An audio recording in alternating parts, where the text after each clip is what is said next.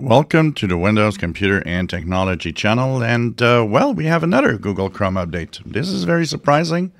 What's even more surprising is that the first one that I talked about yesterday uh, didn't seem to have any info on it. I can't find anything about it.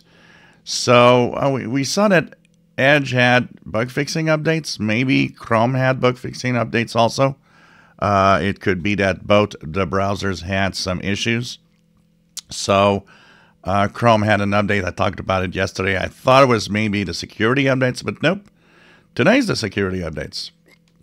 So if you go into your Chrome browser, upper right corner, three of vertical dots, go into Help, go About Google Chrome, you will be moved to version 133.0.6943.98 or 99, depending on Linux, Mac, or Windows.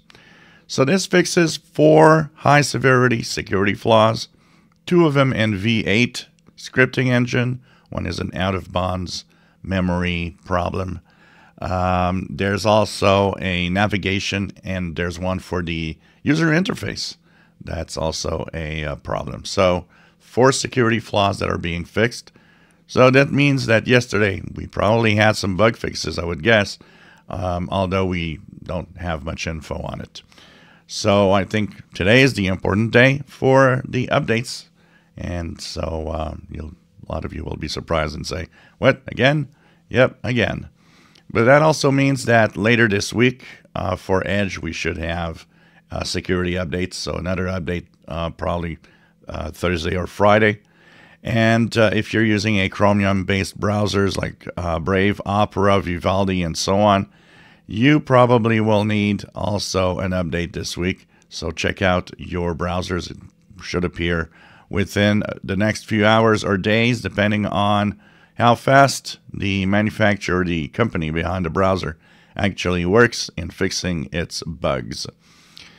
So it's very important to apply these updates because they are your first line of defense. Your browsers are there as the first line with the internet for the most part and having them up to date for the security flaws to be uh, closed uh, is very important as not to infect or have problems with your PC. Remember, on security flaws, chances of your antivirus seeing anything is very low to close to zero, and they can easily, um, you know, get into your system. Uh, remember, antivirus is not to be trusted. What's to be trusted is the updates and what you do.